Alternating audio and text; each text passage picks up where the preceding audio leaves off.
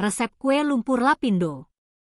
250 gram tepung terigu, 2 sendok makan coklat bubuk, ayak. 2 gram vanili, 4 sendok makan gula pasir, sepertiga sendok teh garam, 500 ml susu ultra, campur merata. 2 butir telur, aduk sampai tercampur merata. 1 sendok makan mentega leleh, aduk merata. Cetak adonan ke teflon, panggang sampai pinggirannya mulai matang, lalu ambil adonan di tengah yang masih cair. Tutup teflon, lanjut panggang sampai matang, pakai api kecil. 70 gram maizena, 7 sendok makan gula pasir, 1 sendok teh garam, 700 ml santan kental, 1 lembar daun pandan, masak sampai adonan mengental.